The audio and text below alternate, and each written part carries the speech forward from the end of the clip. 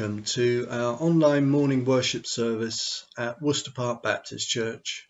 My name is Jeremy and I'm one of the worship team here, and I hope and pray that today's service will be a great blessing to you. Well, spring has sprung.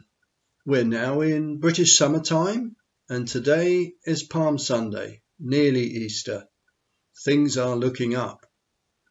Today we continue in the Bible series from the Bible Society with the theme Messiah and Love, which is very timely leading up to Easter. In this service, we'll have a contribution from Andrew Ollerton from the Bible Society and an interview with Pastor Abraham from the Korean Church, who share our premises for their worship services. And later in the service, Caris, our families and children's worker, will bring us the all age talk, and Ian, one of our deacons, will bring us God's message to us. After the service, we invite you to join us for refreshments on Zoom, and details for joining will appear on the screen after the final prayer. We would love to hear from you either during or after the service and you can do this by leaving a message in the YouTube chat, or you can go to our website, which is wpbc.org.uk.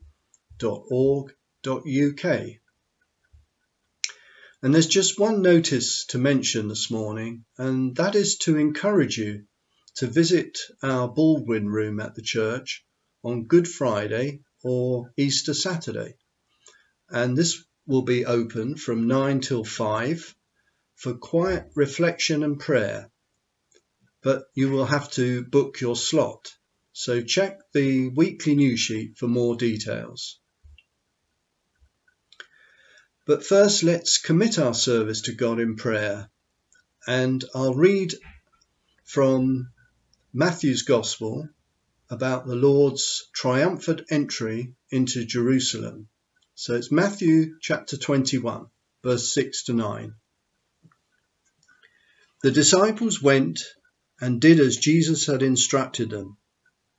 They brought the donkey and the colt, placed their cloaks on them, and Jesus sat on them. A very large crowd spread their cloaks on the road, while others cut branches from the trees and spread them on the road.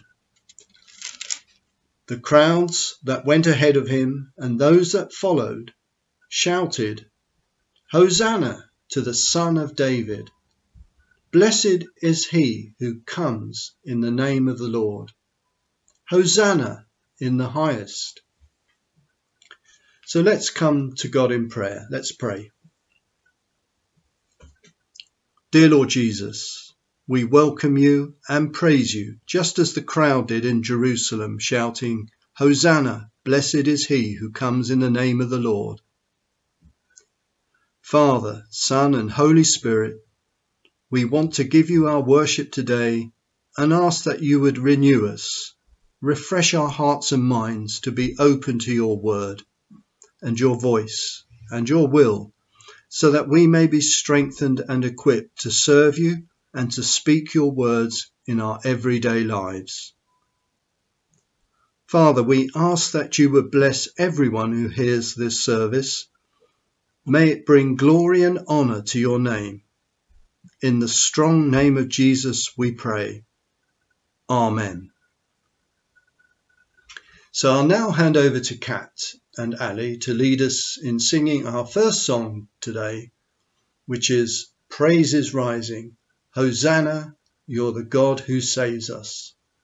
And afterwards, Caris will bring us today's all age talk. Praise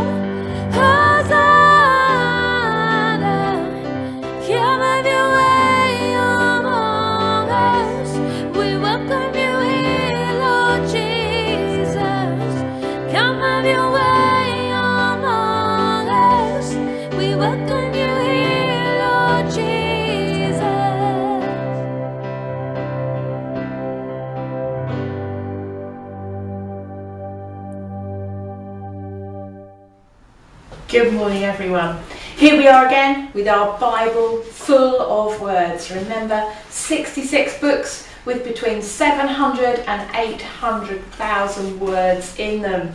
And we've been looking at some of these words over the last few weeks. How God has created us. We are His masterpiece. How He wants us to live a full and free life. If we know the truth, the truth will set us free. And how God wants to keep us uh, in perfect peace. If we trust Him, we will know that perfect peace. Now, this week, we're beginning to think about the life of Jesus and what He did for us when He came to live on the earth as a man and then went on to die for us on a cross. This is the story of Easter. And the words we're going to look at today are probably among the most famous words in the Bible. I can guarantee that you will have heard them before. Here they are. Jesus uses these words to explain to a man called Nicodemus what he was and why he had come down to the earth, what he'd come to do, although I'm not sure that Nicodemus really understood it at the time. And we can read Jesus' words in the Gospel of John, chapter 3, verse 16. God so loved the world that he gave his one and only Son. Anyone who believes in him will not die, but will have eternal life. These are our words for today. Now, the word gospel that I mentioned just then, the Gospel of John, the word gospel means good news. And this verse sums up the good news of Easter that John and his friends wanted to share. And it sums up that message that we are celebrating all through this special Holy Week that we're just coming into. The good news is that although we think about Jesus being put to death when we remember that crucifixion on Good Friday, we also go on to remember that three days later, Jesus came back to life again on Easter Sunday, and we remember that he rose from the dead. Now, I wonder if you've ever tried to explain this story of Easter to anyone before. It can be quite tricky, especially if the people haven't heard it, or it's really new to them, or maybe they have heard it, but they haven't really understood what it means to us as Christians and why we're celebrating it. So today I wanted to show you an easy way to tell the whole story of Easter and all you need to be able to tell the story is some colours. Now for this I'm going to use some pieces of coloured card but I wondered if you would like to do a quick scavenger hunt in the room where you are to see if you can find some things that are these colours and that can help you tell the story of Easter. So first of all, can you look around in the room where you are and find something that's green? Quickly look around, maybe point to it or if it's not too heavy, bring it forward and have a look at that green thing. So, green is the colour that reminds us of living things like grass and trees and plants. And green reminds us that God made the world. He made all living things, including you and me. Do you remember that we heard a few weeks ago that when God made human beings, He said they are very good. But then something happened, and we did hear about it a few weeks ago. And in order to think about it now, I need you to go and find something in the room where you are that is grey or black, a dark colour like this card here. Can you look around you, point to it, bring it to the screen? Something dark. Brilliant. So this dark colour represents the things that all of us do or say or think that are not so good.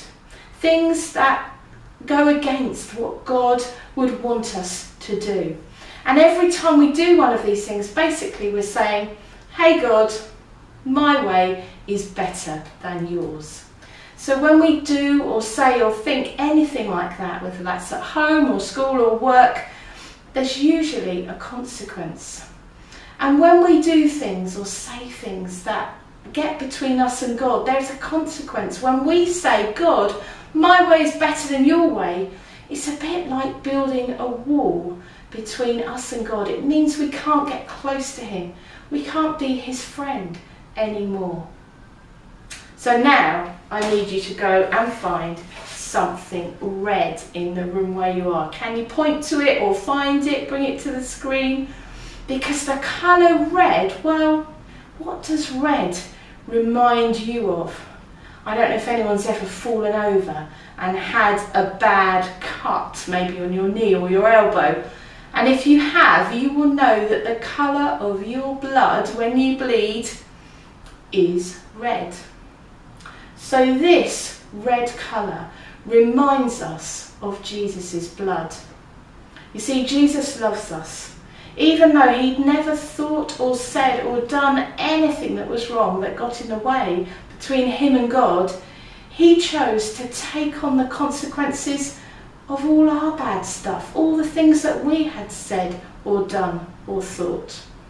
And Jesus did that by dying on a cross for us.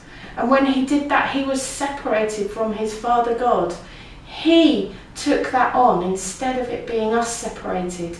And because he did that, he made it possible for us to be friends with God again. We could get close to God. We could be friends with him. That wall between us and God was gone. So now, can you find something in the room where you are that is purple? This is sort of pale purpley colour. Look around you, find it, grab it, bring it to the screen. Purple is a very special colour. Purple stands for royalty. And after Jesus died and was buried, we believe that he rose again. And then he went back to heaven to be with God his Father. And there, Jesus is like a king. He's ruling over the whole world. But he's a king that we can be friends with and we can follow him by choosing to say sorry, to say thank you to him for loving us, for trying to stop doing the things uh, that get in the way between us and God. When we do that, when we choose to follow God, we have that friendship with God again. And Jesus is like our King. So the last colour I need you to find where you are is something that is yellow. Nice bright yellow colour. If you can't see it in your room, maybe look out the window. Is there anything yellow outside? Yellow is a happy colour. Yellow is one that makes us think of the sunshine. Now that we're in a friendship with God again, our lives can be full of good things, full of amazing fun things, the things that God always wanted for us in the first place. We can be truly free and we can live our lives to the full. So, just with these colours, you can explain the story of Easter, the story of Jesus, why he came, why God sent him down to the earth, just with these simple colours. So I wonder, can you do that this week? Can you tell someone the good news of Jesus by using these colours? And I know that for some of you, I sent some beads home. Maybe you could use those beads to make a bracelet and have it on your wrist and then explain to people what it means or make it into a keychain and take it out with you uh, just as a way of saying to people this is the good news of Jesus. So let's share that good news this week.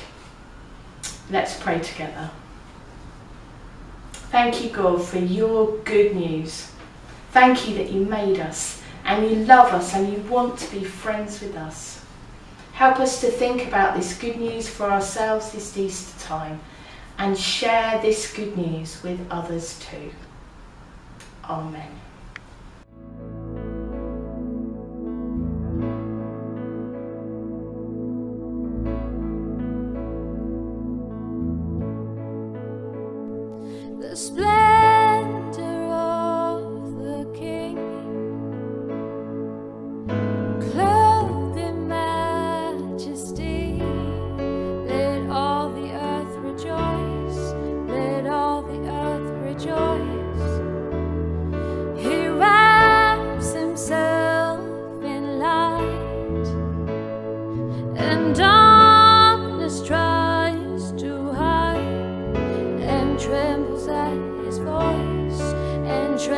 at his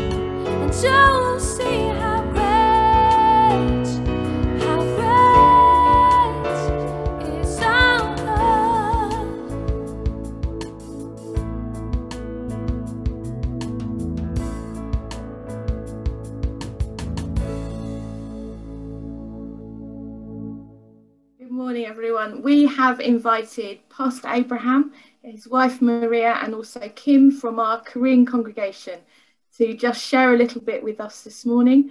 And we'd love to uh, hear from them all about their views on Easter and how Easter's going to be for them this year. So, Maria, just like to ask you to begin with how would you normally be celebrating Easter with your church if we were not in a lockdown?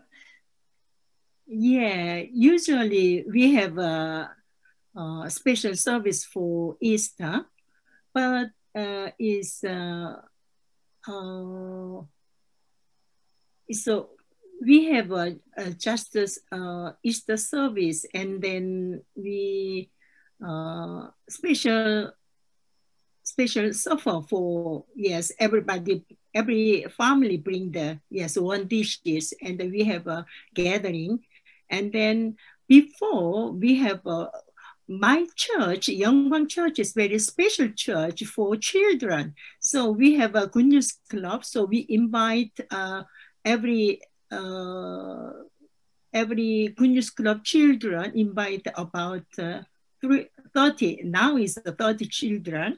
Yes. So we have uh, uh, before Easter Day, we have a uh, Easter party. So yes, it's the party have, and then we prepare some games, and then yes, uh, present, and then special preaching. Oh, so they are very exciting and they're very happy. Yes, with the time, and then usually we uh, Sunday Easter Sunday we uh, share the uh, Easter eggs Easter eggs is uh, the meaning is uh, joy of the new life. So uh, we bring the uh, boiling boiling eggs and then uh, sharing that yes, and then uh, uh, uh, that uh, that means we have not Easter chocolate. Uh, just we have a, uh, Easter eggs. The, that means we have a new life in Jesus Christ. So we share the uh, eggs. Wonderful. Thank you, Maria. And then But- ch- children is make uh, decorating on the eggs or uh, painting something like this. Yeah. so I bring the is uh, I make uh, Easter eggs for Okay. example there. Oh, wow. lovely. Fantastic.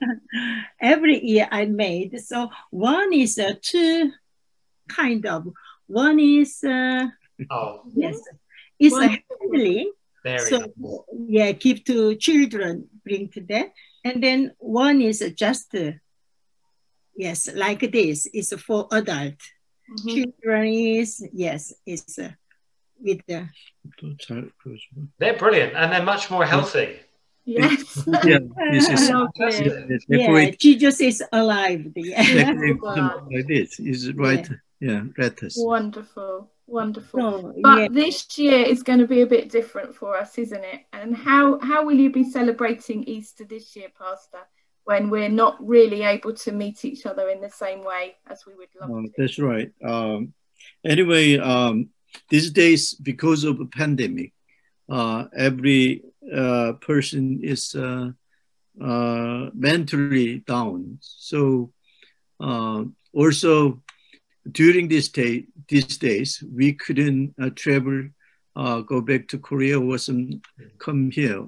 So uh, our church members getting uh, smaller than before.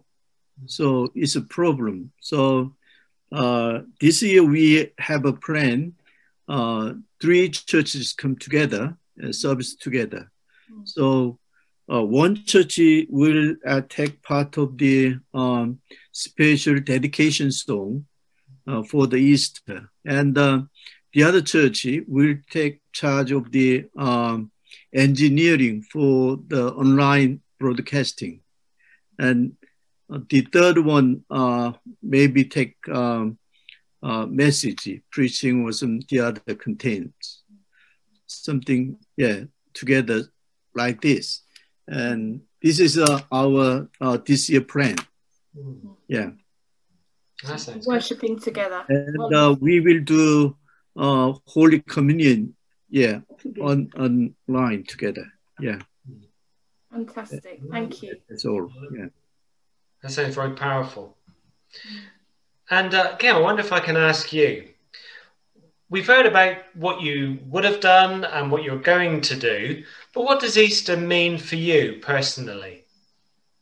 Um, Easter is to remember who Jesus Christ is and what he has done for me.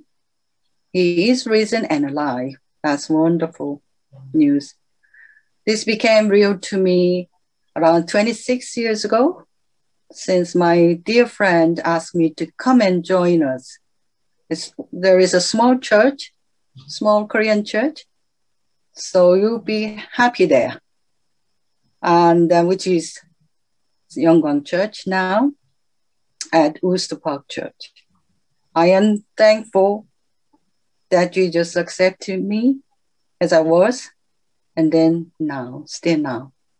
Thank Jesus. Mm. Amen. Oh, that's lovely. Thank you. Thank you, Kim. Thank you, Pastor Abraham. Thank you, Maria. Thank you, Kim, for being with us today and telling us a little bit about your church and how you would uh, celebrate Easter, how you're going to, and also some of your own experience of Jesus too. It's wonderful. Thank you. Thank you. Thank you very much. Thank you. For God so loved the world that he gave his one and only Son, that whoever believes in him shall not perish, but have eternal life. For God did not send his Son into the world to condemn the world, but to save the world through him.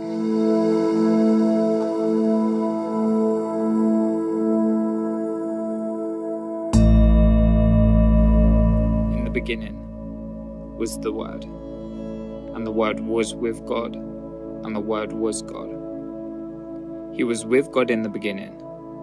Through him all things were made. Without him nothing was made that has been made. In him was life, and that life was the light of all mankind. The Word became flesh and made his dwelling among us. We have seen his glory, the glory of the one and only Son, who came from the Father, full of grace and truth.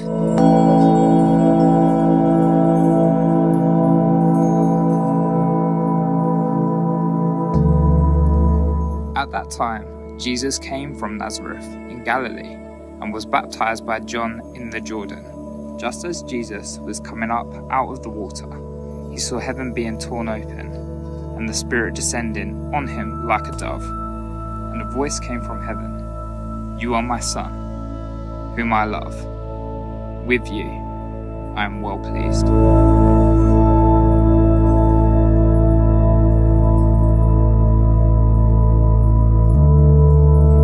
The Spirit of the Lord is on me, because he has anointed me to proclaim good news to the poor. He has sent me to proclaim freedom for the prisoners and recovery of sight for the blind, to set the oppressed free.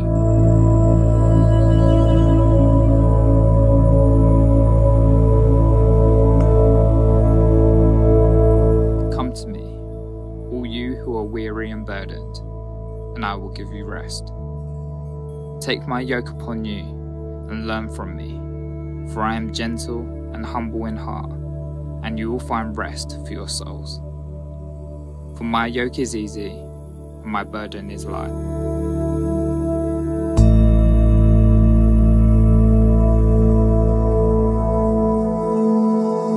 I am the light of the world. Whoever follows me will never walk in darkness, but will have the light of life.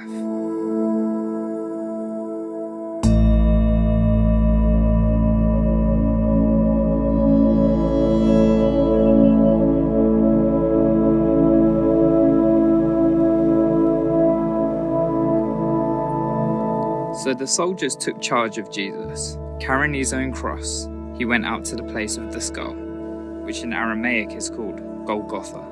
There, they crucified him, and with him two others, one on each side, and Jesus in the middle.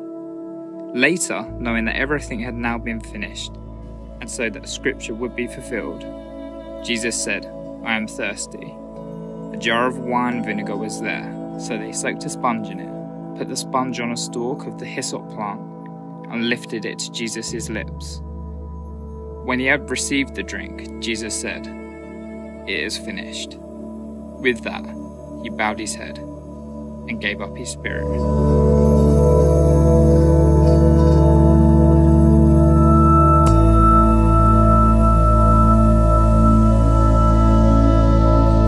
He himself bore our sins in his body on the cross, so that we might die to sins and live for righteousness. By his wounds you have been healed.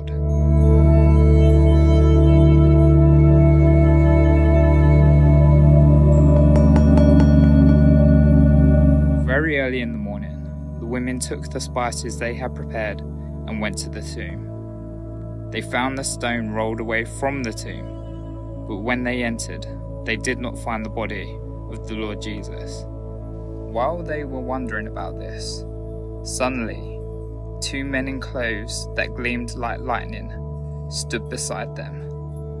Why do you look for the living among the dead? He is not here. He has risen.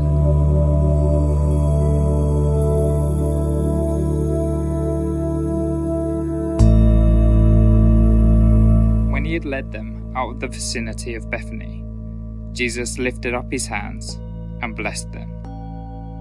While he was blessing them, he left them and was taken up into heaven. Then they worshipped him and returned to Jerusalem with great joy.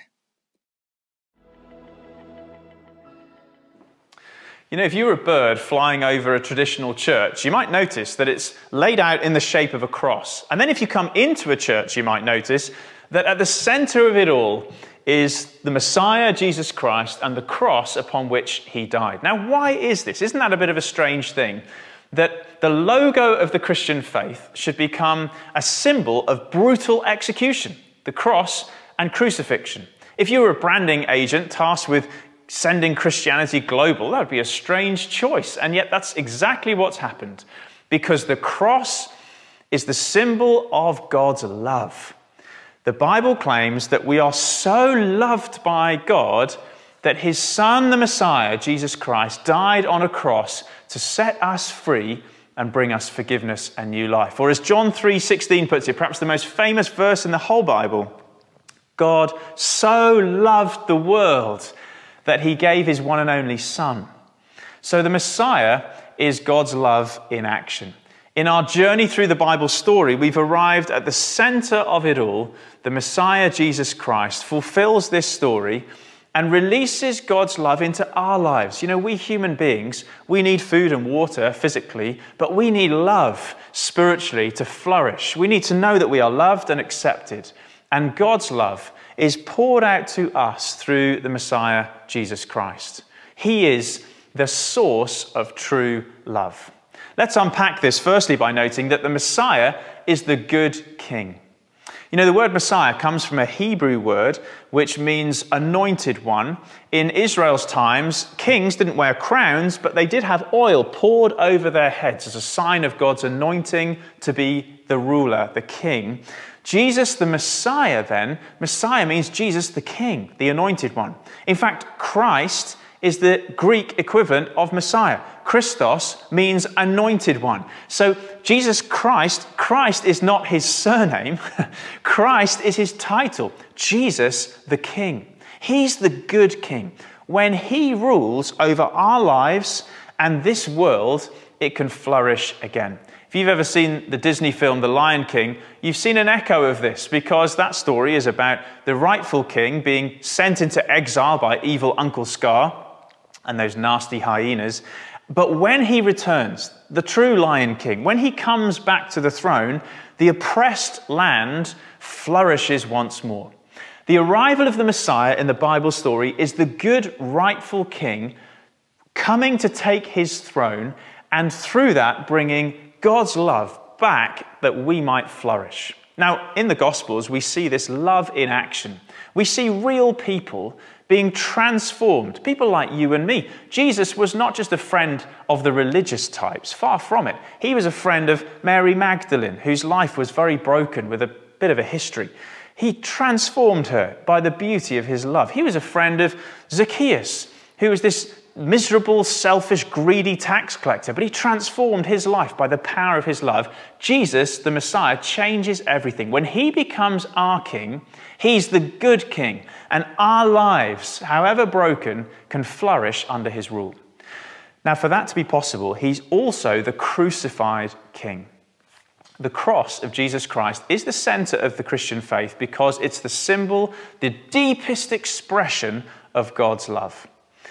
In the final week of his life, Jesus entered Jerusalem, celebrated by the crowds, but jealously criticized by the religious rulers who plotted to kill him. Eventually, they had him handed over to Pilate, and Jesus let this happen. He knew that Judas would betray him, but he let him. He knew the soldiers would arrest him and beat him, but he let them because he'd chosen to love us so much that he would take our evil and sin upon himself and die on a Roman cross, absorbing all our shame and guilt, that he might take it from us by taking it upon himself. So the Bible says that Jesus died in our place and for our sins.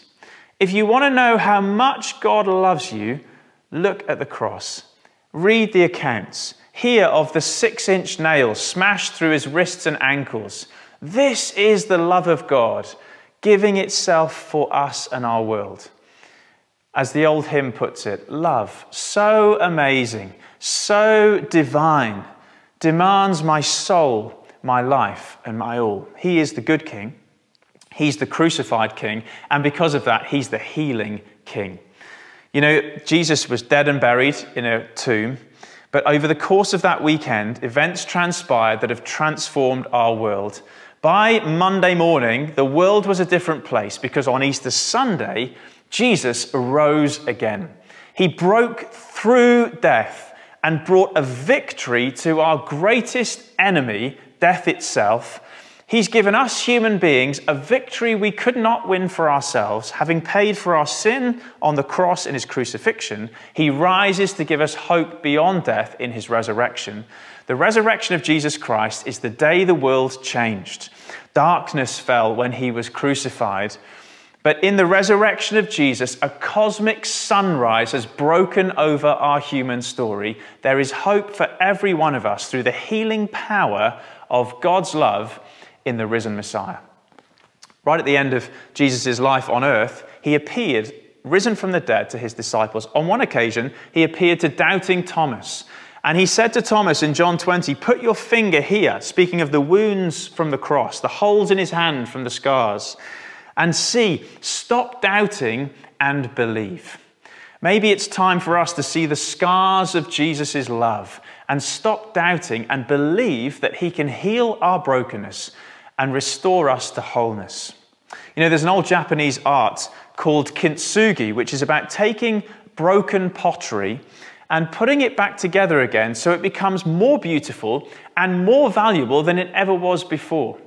The key is the golden resin that is used to join the fragments back together. Jesus Christ, the Messiah, through his death and resurrection, is the master of kintsugi. He can take the broken pieces of, his, of our lives, and through the golden resin of his love, he can make us more beautiful and more valuable than we were before. Stop doubting and believe. Allow Jesus to take the pieces of your brokenness and your life and make something beautiful out of it again. This is his great love for us. Jesus the Messiah gave his life for us, or as John 3:16 puts it, God so loved the world that he gave his one and only son that whoever believes in him will not perish but have eternal life.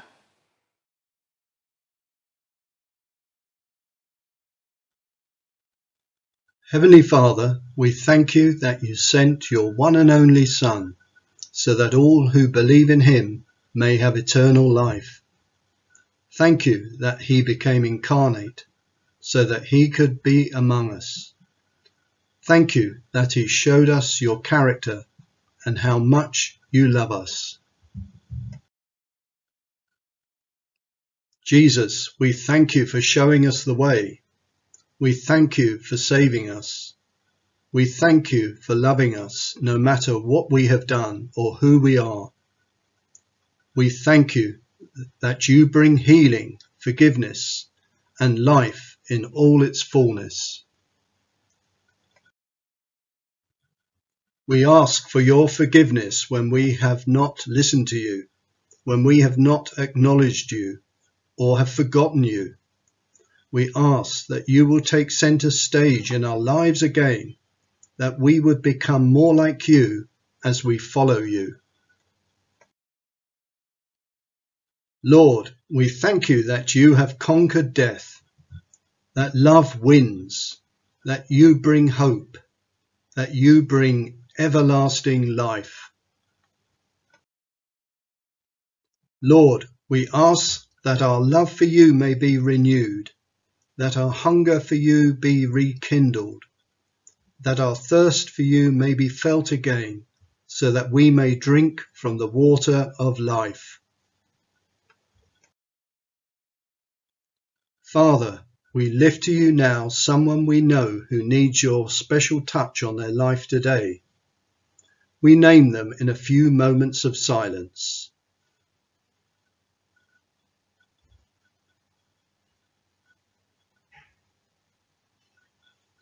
Thank you, Lord, that you hear and answer our prayers. We pray all these prayers in the precious name of Jesus, our Saviour.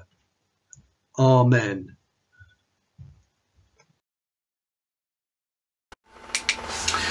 Thank you, Jeremy, for leading us. For the last few weeks, we've been following the Bible Society's Bible Series course. And while the course can be run at any time of the year, it's not just a coincidence that we come to this week, Messiah and Love, on this particular Sunday. Because this is the centre, the crux of the whole series. We've been saying that the whole Bible story is there to point us to Jesus. He's the one it's all about. He is God's answer to all the questions and problems that have come up. Jesus, the Messiah, the anointed King, the Saviour of the world. And today is Palm Sunday, the start of Easter week, the last week of Jesus' life, leading up to the events of Good Friday and Easter Sunday, when Jesus was crucified and then rose again. The very centre, the focus of his whole life. Just look at how much of the gospel accounts of his life are taken up with just this one week. So, where have we been so far? We've looked at creation, how God made us for a loving relationship with himself, given responsibility under him for managing and caring for his creation, raised up above all other creatures by the privilege of knowing God. Yet how we fell from that position by going our own way, trying to put ourselves in God's place. And yet we've also seen how God started his plan to rescue us and bring us back to himself by the promises he made to Abraham and his descendants. And then Exodus. God saw those descendants of Abraham in a mess, slaves in Egypt, and intervened miraculously to rescue them to set them on the road to the promised land, to make them his own special people, and to give them his laws to live by. And then exile. God's people had all these privileges. They lived in the promised land. They had God's law, yet time and again they failed him. They ran off after foreign gods. They worshipped idols instead of the living God. And in the end, they were driven out of the promised land into exile in Babylon. And yet, even there, there was this message of promise and hope. God hadn't forgotten them. He would restore them. He would bring them home again. And then, slowly emerging in the prophets like Isaiah, there was this picture of the coming king, the Messiah. God had said that he would rescue the whole world through his people, but so often they were the ones who needed rescuing themselves. But God would send the perfect Israelite, the true descendant of Abraham, who would be the one to fulfill all God's promises and to bring salvation to the whole world. And when we looked at Mark's Gospel several months ago now, we saw Jesus introduced as this promised Messiah, revealed to an indifferent world through the things he did. And when we looked at Isaiah recently, we saw that there was going to be something more to this Messiah than just a wise teacher showing us a better way. We saw this picture of the suffering servant, someone who would go through great pain, even death, to achieve his goal. Someone who, like the lambs sacrificed every day in the temple, or the ones whose blood cleared the way for the Israelites to escape from Egypt. Someone who would be the Lamb of God, slain to take away the sins of the whole world. And this was the role Jesus took onto himself. In Mark's Gospel, we came to this key verse that he came to give his life as a ransom for many. Many might look to Jesus as a great teacher, someone to offer us true wisdom on how to live. And he is all that. But he himself and his followers, the early church, didn't make that the central reason for his being here. Instead, it was this that he came to offer his life as a sacrifice for sin so that we could be reconciled to God. For anyone at the time, to be crucified was the most shameful, the most demeaning form of death imaginable, reserved for the worst criminals. It is utterly unthinkable that anyone would just tack this on to the Christian faith as an afterthought. It was so repulsive. That surely points to the cross of Jesus being at the very centre of our faith from the very beginning. Indeed, it's been said that alone of all earth's religions, Christians are the ones who can weep tears of pity for their God when they contemplate all that happened to him. Because what he faced up to on that first Easter was real. It wasn't play acting or a made up story. If you want to see that, look at what happened to him just before he was arrested. He went with his disciples to a quiet place to pray, the Garden of Gethsemane. And there the whole horror of what was about to happen to him came on him. And he quailed at the prospect, as anyone would. Father, if it is possible, let this cup of suffering pass from me. Yet he could not let it pass if he was to complete his mission, if he was to save us. He had to follow it through if we were to be rescued. And true courage is not to be without fear. Rather, it's to face the reality of our fears and to go ahead despite them. so you could say that we were there in his mind's eye as he faced that awful moment. Our fate hung in the balance and he chose us. He accepted everything that must happen to him and he did it for us. So the cross is the symbol of the Christian faith. The fact that it's become prettified or is now jewellery to wear rather hides the fact that it's all about a brutal execution.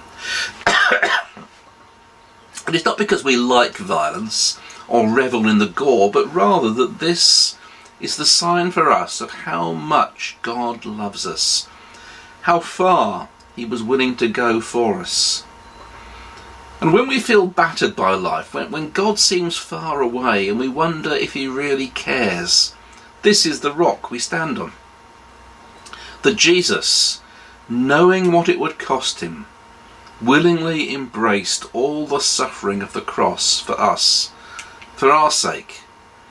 Because this is how much God loves us. God loved the world so much that He gave His one and only Son so that whoever believes in him shall not perish, but have eternal life. So, this is Easter week, Holy Week, and we face a roller coaster of emotion. Today is Palm Sunday, and it's easy to stand with Jesus when we're surrounded by the crowds cheering him on. But our path will take us through an upper room where Jesus shared a meal in intimacy with his friends, his disciples. Then through a garden where he confronted the full weight of what was coming. Through betrayal by one of those friends, through mock trials and rejection by his own people, through a cross and a tomb. And finally, to triumph in an empty tomb, risen and free, his mission accomplished, the suffering complete and the price paid. And we are the ones set free. We are the ones given hope and life through all he did. So this week, don't rush ahead to the ending. Take time to be in the moment as the week's events unfold. Understand what Jesus suffered for you and for me, and that he did it willingly, that he accepted it out of love for us.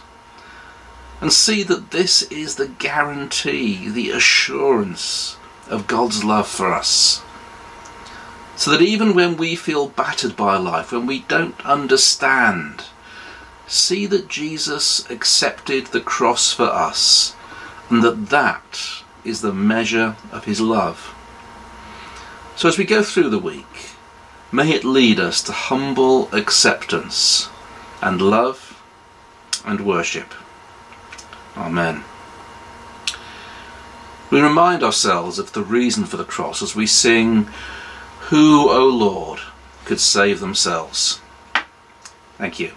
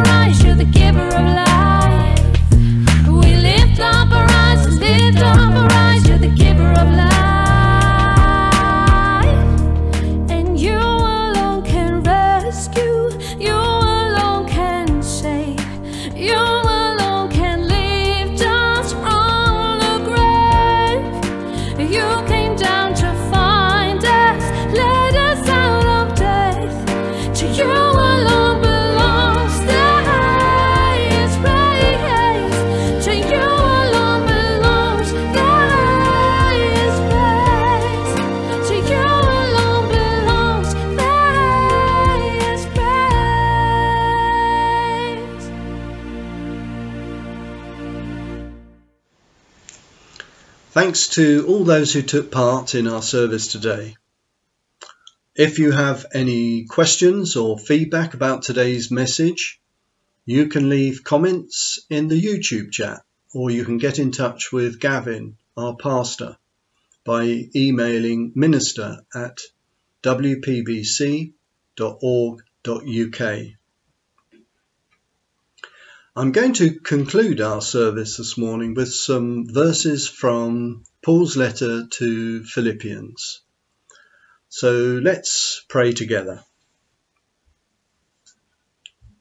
Finally, brothers and sisters, whatever is true, whatever is noble, whatever is right, whatever is pure, whatever is lovely, whatever is admirable, if anything is excellent or praiseworthy, think about such things. Whatever you have learned or received or heard from me or seen in me, put into practice, and the God of peace will be with you. Amen.